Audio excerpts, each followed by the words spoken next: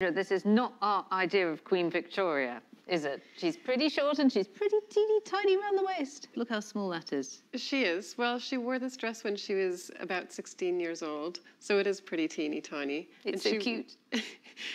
it is cute. She was five foot one and three quarters. And the sleeves are very beautifully puffed, as any 1830s evening gown would be. The silhouette of the dress is also off the shoulder and creates a very beautiful line around her neckline. It's possible she wore it the first time she met Prince Albert. That's so romantic. But what do you think she thought of fashion? Because she really doesn't have a place on the best dressed list of queens of history, does she? She was certainly very, very interested in fashion and extremely aware of the power that fashion had in shaping public opinion. For big public occasions, she always wore British, and that was something that was always clearly identified in newspaper articles describing her clothes for any particular event. Do you think that Queen Victoria self consciously constructed her image?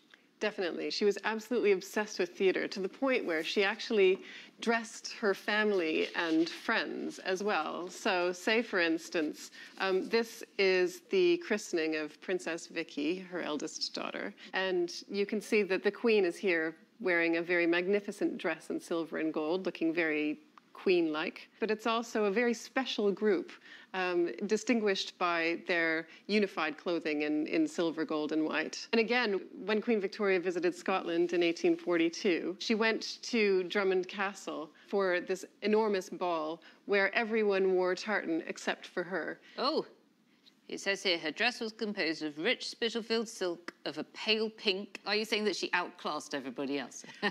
Not necessarily that she outclassed everyone else, but she's certainly dressing to stand out here. She had worn tartan throughout the entire visit to Scotland in 1842.